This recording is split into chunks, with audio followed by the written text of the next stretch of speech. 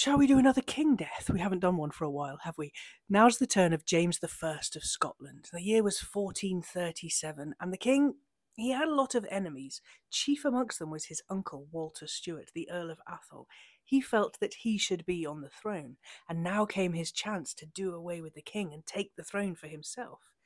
His grandson was the king's chamberlain, and he that night he opened the doors to the Blackfriars monastery where the king was staying, and he let in about thirty conspirators.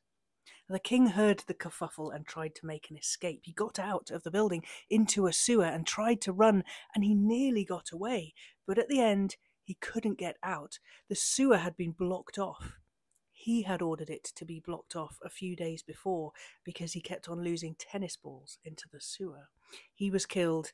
His wife got away, and so did their son and heir, James II, the Earl of Athol. Oh, that's part two.